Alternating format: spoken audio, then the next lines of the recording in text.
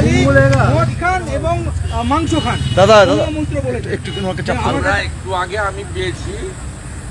ওটা পশ্চিমবঙ্গ জুড়ে এবং ভারতবর্ষের বিভিন্ন জায়গায় এফআইআর করার ব্যবস্থা করবে এবং এফআইআরটা হওয়ার পরে পশ্চিমবাংলার তথাকথিত ধর্মনিরপেক্ষ মুখ্যমন্ত্রী তিনি নুপুর শর্মাকে চিঠি পাঠান লুক আউট নোটিশ করেন। তার নিজের দলের সাংসদ সম্পর্কে কি ব্যবস্থা নেন? এটাও আমরা অপেক্ষা করে দেখতে চাই। বাংলার মানুষ না নুপুর তবু বাংলাতে এফআইআর করেছে প্রশাসন পুলিশ। সেটা ঠিক আছে কেউ আইন বিরোধী কাজ করলে কারোর সেটা কি হবে আমি বলছি না। আমি বলছি যে তিনি নিজেকে বলেন যে আমি সবার জন্য সমান। তা উনার দলের সাংসদ তার বিরুদ্ধেও এফআইআর হবে। কি করেন সেটা বাংলার সনাতনীরা দেখতে চায়। বলছি আজকে তৃণমূলের পক্ষ থেকে তারা প্রেস কনফারেন্স করেছেন যে নুপুর শর্মার বিষয় নিয়ে উদয়পুরের বিষয় নিয়ে এবং কাশ্মীরের লস্করি তৈবা যে জঙ্গি ধরা পড়েছে সব কথা নিয়ে তারা নিরপেক্ষ স্বাধীন বিচার বিভাগীয় তদন্ত চাইছে। ওদের কথার কে মূল্য কি মূল্য আছে? ওদের দেশে কি আছে? ওরা কে কি বলল তার ওর কোনো মূল্য আছে? পশ্চিমবাংলার কিছু চ্যানেলে আহ, এইসব লোককে দেখাবে কিন্তু পশ্চিমবাংলার বাইরে এগুলো ইরেলিভেন্ট অপ্রাসঙ্গিক একটি পার্টি তাদেরকে মুখপাত্র বলল কি না বলল ন্যাশনাল লেভেলে কেউ নিউজও করে না কেউ দেখায়ও না অপ্রাসঙ্গিক। অমিত শাহকে আপনি নিয়ে কি বলবেন? কৃষ্ণ কল্যাণীকে আবার চেয়ারম্যান করা হয়েছে। শুনুন বিধানসভাটা চালাচ্ছেন চোদ্দ তলা থেকে বসে পশ্চিমবাংলার মুখ্যমন্ত্রী এবং তোলামূল কোম্পানির চেয়ারম্যান বিধানসভার রুলস বিধানসভার কনভেনশন, বিধানসভার প্র্যাকটিস, বিধানসভার গরিমা ঐতিহ্য, কোনোটাই এখানে আপনার গ্রহণযোগ্য বা স্বীকৃত হচ্ছে না।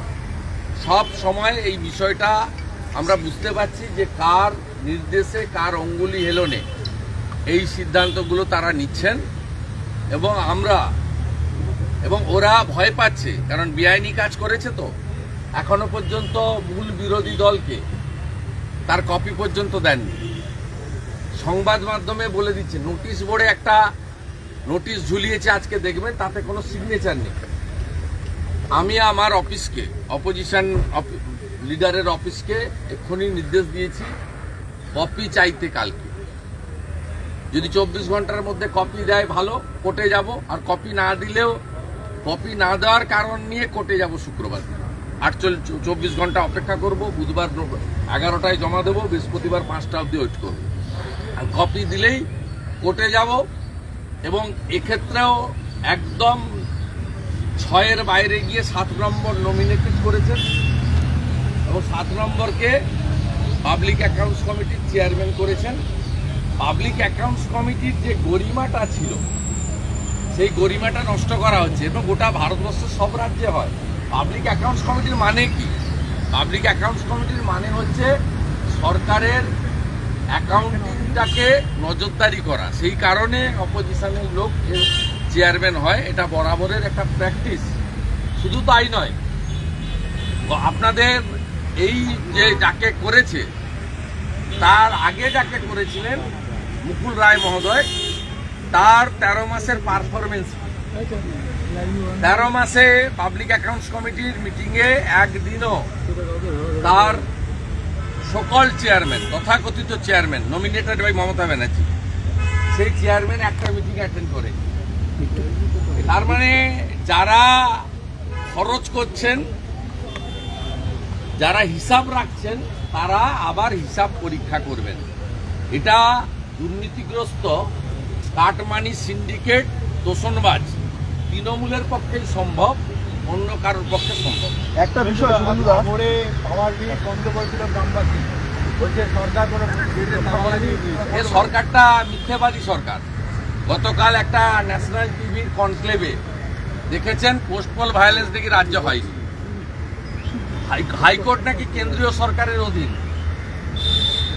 যে রাজ্যের মুখ্যমন্ত্রী মিথ্যাবাদী হয় তার ডিএম তো মিথ্যা প্রতিশ্রুতি দেবে। তখন তো হিরো হওয়ার জন্য করেছে। স্বাভাবিকভাবে গ্রামবাসীরা অপেক্ষা করেছেন দু তিন বছর। তারপরে প্রতিশ্রুতি পূরণ হয়নি, তারা আন্দোলন করছেন। আমি বিরোধী নেতা হিসেবে এই আন্দোলনকে সম্পূর্ণ সমর্থন করি, কারণ দক্ষিণ চব্বিশ পরগনার তৎকালীন যিনি জেলা শাসক ছিলেন, তিনি তিনি যে প্রতিশ্রুতি দিয়েছিলেন on behalf of state government তার একটাও প্রতিশ্রুতি কার্যকর হয়নি। বলছি, আপনি অমিত শাহকে একটা চিঠি লিখেছেন। বিষয়টা নিয়ে একটু যদি বলেন। পশ্চিমবঙ্গ এমনিতেই আমরা সবাই জানি আছে। আমি স্বরাষ্ট্রমন্ত্রীকে বলেছি যে একাশি হাজার জিলোটিন স্টিক উদ্ধার বীরভূম থেকে। পাণ্ডবেশ্বর এক্সপ্লোশন এবং আজকে মুর্শিদাবাদ জেলার ডোমকলে এই যে মুখ্যমন্ত্রী কয়েকদিন আগে বলেছেন না পঞ্চায়েত ভোট এগিয়ে আনব। তার প্রস্তুতি শুরু হয়ে গেছে। মুখ্যমন্ত্রী কয়েকদিন আগে বলেছেন জিয়াদ হবে একুশে জুলাই। জিহাদ করতে গেলে তো খাগড়াগড়ের মতো বিস্ফোরণ ঘটাতে হবে। জিহাদ করতে গেলে তো অক্ষরধামের মতো বিস্ফোরণ ঘটাতে হবে। তাহলে জিহাদ করতে গেলে তো জিলোটিন লাগবে। তাই জিলোটিন সংগ্রহ হচ্ছে। আর ডোমকলে আজকে একজন মারা গেছে, চারজন গুরুতর আহত হয়েছে। তাই আমি সম্মানীয় স্বরাষ্ট্রমন্ত্রীকে লিখিতভাবে মেলও করে দিয়েছি হার্ড কপিও স্পিড পোস্টে দিয়ে দিয়েছি। যে আপনি ইমিডিয়েট এই তিনটে ঘটনায় আপনি এনআইএ তদন্ত করুন এবং ব্যবস্থা নিন। মামলা করেছেন তারা বলেছেন তৃণমূলের নেতা মন্ত্রীরা নিজেদের প্যাডে সুপারিশ করতেন তাদের নেওয়া উচিত তার মধ্যে একটা ওই ওই রামনগরের একটা দাঁত পোকলা আছে। হাফমন্ত্রী আর কি বলবেন? এই যে তিনজন মন্ত্রী তার মধ্যে একজন মতো দেখতে। দু হাজার চোদ্দ সালে বিধায়কের প্যাডে ব্যবহার করে এটা করা হয়েছিল। সব চোর আমি তো বলেছি একশো জনের বেশি তৃণমূলের বিধায়কের ছেলে মেয়েরা সব বেআইনিভাবে চাকরি পেয়েছে। কালকে স্বপন দেবনাথের ছেলে আর বৌমার কথা বলে এসেছি মন্তেশ্বরে। দুজনই টেট পাস করেন। গতকাল গতকাল কল্যাণ চৌবে একটা একটা গতকাল কল্যাণ